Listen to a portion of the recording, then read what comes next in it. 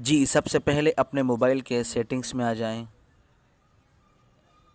उसके बाद यहाँ एक ऑप्शन मिलेगा ऐप्स के नाम से। देखिए, यहाँ ऐप्स लिखा है, उस पर क्लिक करें। उसके बाद जो ऊपर यहाँ ऐप्स लिखा है, उस पर क्लिक करें। उसके बाद यहाँ ढूंढेंगे कशकोल कहाँ है। देखिए, यहाँ कशकोल मिल गया है। आप उस पर क्लिक करें। उसके बाद यहाँ जो पावर यूज़ डिटेल्स जो है, उस पर क्लिक करें।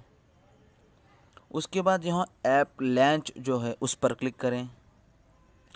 शुरू के जो तीन हैं, इनको ऑफ़ कर दें, जो आखिर का चौथा वाला है, आप उसको ऑन रखें। उसके बाद ओके पर क्लिक कर दें।